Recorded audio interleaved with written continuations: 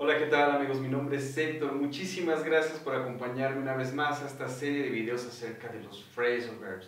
Primero que nada, ¿qué es un phrasal verb? Bueno, pues un phrasal verb es un verbo en inglés acompañado de una preposición o un adverbio, a veces la suma de los tres, y cuando los juntamos crean un significado diferente al del verbo. Por ejemplo, el día de hoy tenemos find out, to find, que significa encontrar.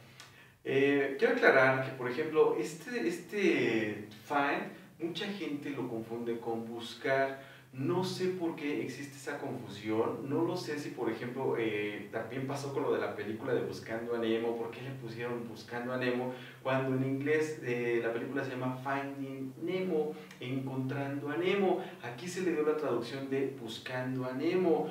Eh, realmente no lo sé por qué. Quizás para no anticipar el final, para hacerla más interesante. No lo sé realmente. Pero lo que sí sé es que find es encontrar y no buscar. ¿sí? Y pasa algo bien curioso porque, por ejemplo, si tú pones en el buscador de Google eh, la palabra, eh, bueno, la frase Finding Nemo, te aparece como buscando a Nemo, pero si tú borras ese Nemo y pones ahí, por ejemplo, José, y no te va a aparecer eh, buscando a José, va a aparecer encontrando a José. Si tú pones, este, borras ese, les digo, ese, por ejemplo, ese José, y pones este Pancho, te va a seguir apareciendo encontrando a Pancho, no buscando a Pancho. ¿ok?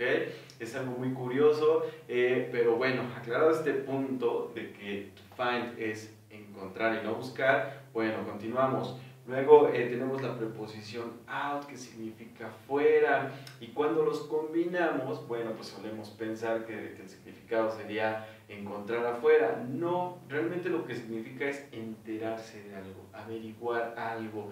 Esto puede ser que quizás lo leíste, quizás lo viste, quizás escuchaste algo y bueno, te enteraste de, de ese algo, de eh, averiguaste tal cosa, ¿vale? Y se ocupa muchísimo. Eh, viene a mi mente, por ejemplo, la película, la famosísima película de Steven Spielberg, Volver al Futuro, en la escena donde vienen persiguiendo los malos a Marty y terminan estrellándose con el camión del estiércol y quedan atrapados.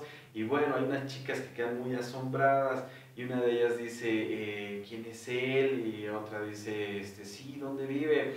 Y la tercera dice, no lo sé, pero voy a averiguarlo.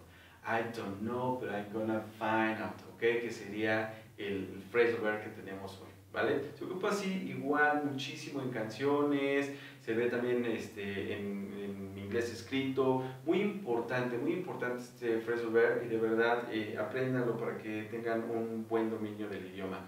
Eh, por mi parte es todo amigos, que estén muy bien, muchísimas gracias por ver mis videos, por eh, suscribirse, que estén muy bien, hasta la próxima, bye bye.